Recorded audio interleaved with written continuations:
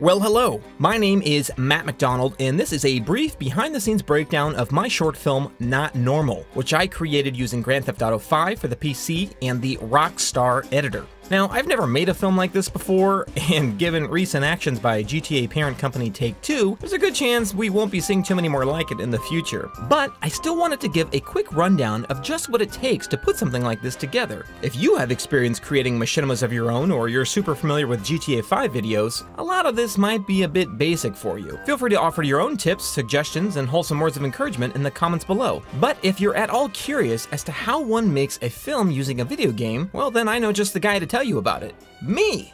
So to start, we're gonna do some research before writing our script. Oftentimes, the best way to go about making a no-budget film is to write our story around our limitations. And in our case with GTA 5, that means a few things. Just like any film, we need to location scout and figure out what we have access to. For me, the idea was to utilize areas in the game that looked good and haven't already been featured heavily before. We then need to know exactly what the game is capable of doing. And look, I'm not a coder, I don't know how to model or animate or program anything. I'm lucky I don't actually blow up my computer most days, so we're pretty much stuck with what's already in the game. Specifically, we need to know what the characters in our film have the ability to do. Can they run? Can they swim?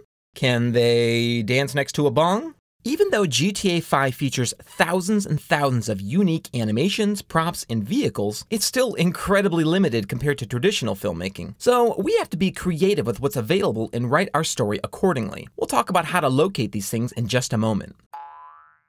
And finally, I chose for the film not to have dialogue. Voiceover, yes. Dialogue scenes, no. Because we're limited to the models and animations already in the game, it's incredibly difficult to create any kind of custom acting. Unlike a live action film where you can show a close up of an actor's face and get a ton of information, a video game not so much. It takes talented artists and animators months and even years to create these, so I thought it best to write a script that didn't have to rely on a bunch of talky-talky scenes. Now that we locked down some knowledge, it's time to write our script and move on. Customizing the game is crucial to creating any kind of unique story, and we do this by installing modifications or mods. These are often scripts or programs that alter the game's data and assets, allowing filmmakers to create things otherwise not possible in the vanilla game. For GTA 5, the bulk of the mods are freely downloadable on a site called, you're never gonna believe this, GTA5mods.com. For Not Normal, I used a ton of mods. Everything from enhanced graphics to custom vehicles to unique props, all in an effort to make the film feel as unique as possible. Now, as I mentioned before, there's been some recent controversy surrounding mods, and Take Two, along with Rockstar, have seemingly taken a stand on players altering their game. As of now, June 2017, no one's really sure what's going to happen, but needless to say, mods are a critical part of making a film like this. So, I'm just to assume everything works out great. There are three three super important mods for any kind of filmmaking within Grand Theft Auto 5 Open Camera and Open 4, Menyoo, and Scene Director. Open Camera comes packaged as part of the program Open 4, or is it Open IV? You know, I don't really know what it's called, but it's awesome because in addition to a number of other handy uses we'll get to in a moment, it comes with Open Camera, which removes the camera boundary limitation in the Rockstar editor, which we'll also get to a little bit later. So much to look forward to. Menyoo by the modder MAFINS is what's called a trainer, which, according to Wikipedia, is any program made to modify memory of a computer game, thereby modifying its behavior using addresses and values. In other words, cheating. It allows us to cheat, make your player invincible, change the time of day, teleport to a different part of the map. It's gonna make setting up our scenes infinitely easier. It's also a handy tool to search out all those different props and animations and vehicles we talked about earlier. See, I told you we'd get to it. Scene Director by the modder elsewhat is another incredibly helpful mod for prepping scenes to film, as it allows us to control multiple characters at a time. We can then record blocking and movements and other animations. And now time for a disclaimer. I don't have to tell you that the whole concept of modifying your game means diving into deep hidden game files and changing things that were never meant to be touched. As you can imagine, this often leads to a lot of bugs and glitches and crashes in a game that's already notorious for being filled with bugs, glitches, and crashes. As stated before, Rockstar and Take-Two are seemingly taking a move to squash much of the modding community and are well known for banning players with mods from their online services. So please, please, whatever you do, make sure you know what you're doing before you go tinkering. And if you do install any mods, don't play online. This concludes your disclaimer. One of the amazingly helpful features of Open4 slash OpenIV is the ability to manipulate textures. Textures, if you don't know, are the skin wrapped around 3D models that make them look like actual things instead of just lumpy gray shapes. There are a number of mods you can download that will change these for you, but I ended up creating several of my own for Not Normal. To do this, we navigate the game folders until we find what we're looking to replace. In this case, we have a beggar sign. I choose one and export it using the export selected option at the bottom of Open4. It gives us the option of a PNG or DDS file. I recommend DDS. Then we take that into Photoshop. We'll need to install the NVIDIA texture tools in order to read it, but good news, it's free. From here, it's pretty straightforward if you know your way around Photoshop. You can see I swapped in a different cardboard background, replaced the text, added some grease stains, and boom, a custom controversial sign. We save that to the same .dds file and replace the old one within Open4. In other situations, you might want to bump up the quality on the texture. For example, in this shot, I wanted the character to have a bit of a messy car and threw in a bag of chips next to the gun. You know, because he gets hungry while killing people. We're in a close-up, but the stock game texture is not much of a looker. Let's fix that. Just like before, we import the original texture into Photoshop, but this time we'll go to Image,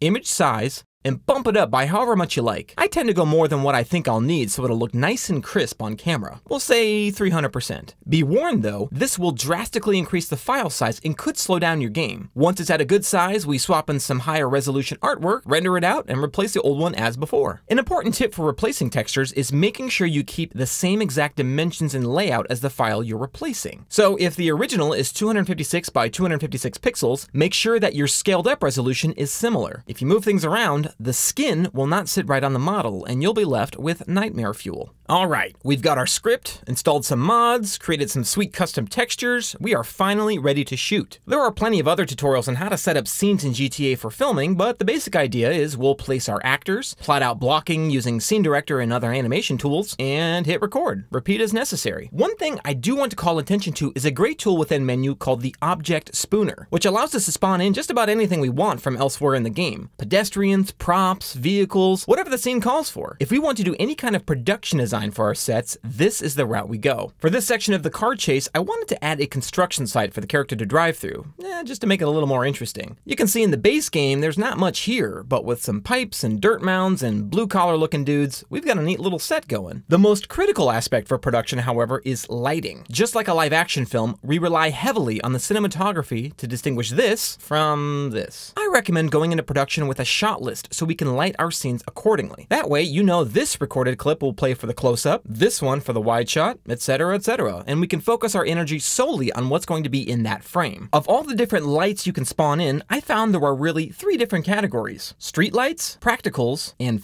useless lights. FULs are fairly easy to spot. They look like lights, they look like they're turned on, they look like they might even help us, but they don't. They don't actually cast any light on the environment or models around them useless. Maybe you include them in your scene for production design purposes, but I pretty much avoided them for any actual lighting. Practicals are different in that they do cast light and act very much like their real life counterparts. Lamps, wall lights, car headlights, these can all be great if used correctly. Street lights, if you've never been outside, are those big guys along the road. The important difference between practicals and street lights is that street lights can basically be made invisible without affecting brightness, allowing us to place them anywhere in the scene. So for this scene, we spawn in a couple different street lights with the object spooner and place them to light this very panicked man. But you'll notice something weird. Can you see what it is? Oh, the floating light pole. yeah, that's, uh, that's probably not normal. Ha! See what I did there? We fix this by going into the object spooner and reducing the opacity of the lights to just 1%. If we toggle the light's visibility or set the opacity to 0%, then it shuts off completely, not helpful. But if we reduce the opacity to just 1%, it's essentially invisible and we can place it anywhere within our scene without having to worry about the camera suddenly seeing an object defying gravity.